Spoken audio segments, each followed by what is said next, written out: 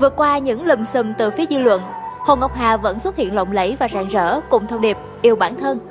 Điều mới nghe qua, những tưởng rất quen thuộc nhưng lại ít được chú ý bởi sự xô bồ, tất bật của cuộc sống. Cùng các người đẹp khác như Hoa hậu Thu Thủy, người đẹp Quỳnh Chi, siêu mẫu Xuân Lan, ca sĩ Đoan Trang, Hoa hậu Hương Giang, Xuân Quỳnh.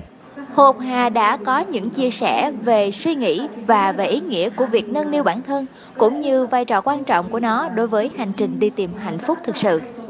Love yourself and be yourself Nghĩa là khi mà chúng ta yêu chính cái cuộc sống của mình Thì tự khắc chúng ta sẽ có những uh, cái động lực riêng để tìm đến mua cho mình sức khỏe Ngay cả bản thân của Hà uh, là một một bằng chứng sống khi mà trước đây uh, ngay cả bây giờ thì Hà vẫn còn tự ti rất là nhiều thứ nhưng mà Hà không bao giờ muốn dừng lại ở đó không phải là vì mình muốn chứng minh bản thân mình mà mình muốn chứng minh cho tất cả những ai yêu mến mình là đặt một cái niềm tin và tình yêu không xa chỗ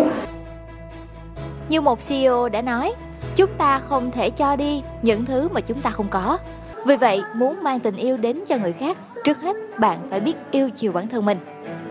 Cho dù mình có như thế nào mà mình không yêu bản thân mình,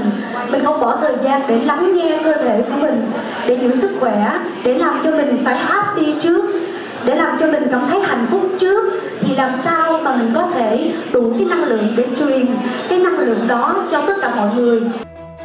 được biết, chiến dịch yêu bản thân trong cộng đồng do Trung tâm Yoga Plus thuộc tập đoàn CMG Asia phát động. Và Hồ Ngọc Hà chính là đại sứ mới của chương trình, kêu gọi phụ nữ không ngừng hãy biết yêu bản thân mình.